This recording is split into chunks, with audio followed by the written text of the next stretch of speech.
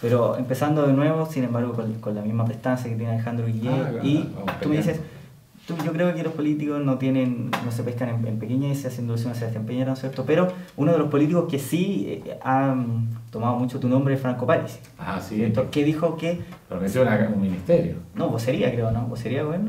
Pues bueno, estaba en duda porque después le ofreció a Vidal, entonces con Vidal nos miramos y dijimos, bueno, ¿quién se va a vocero y quién se va a ministro del Interior? O- Seis, seis meses.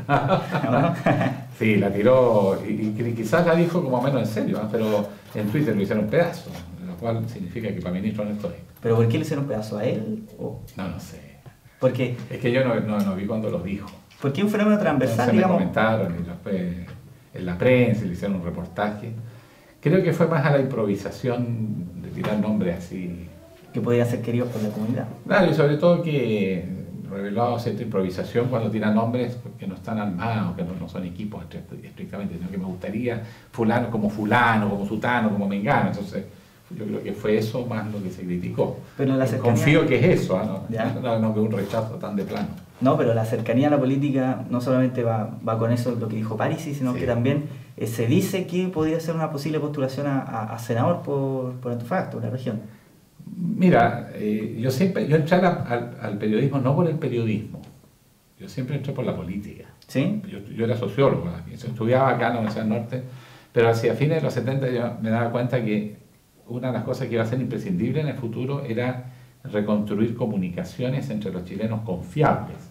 Y decidí que mi frente de batalla política iba a ser el periodismo. Pero es una decisión política, no es una decisión vocacional. No es que vi la luz y vi a Hernández Parker o a Alain Castrano o Andrés Sabela, qué sé yo. No. Yo dije, yo no soy un héroe, guerrero, no. Entonces, pero me veía como periodista, por tanto, en la creación de espacios de expresión democrática, primero como oposición al régimen militar o dictadura militar, y después para reconstruir la democracia. Entonces fue un proyecto a largo plazo. La sociología me daba como la formación intelectual, el periodismo me daba las herramientas. Se ha sido una buena alianza ahí y desarrollé un proyecto de vida personal mirando por ese lado. Y me preparé para eso. Pero siempre he considerado que periodismo eh, tiene una vinculación con la política en primera línea, porque eh, crea agenda. Eh, tú ayudas a formar líderes de opinión.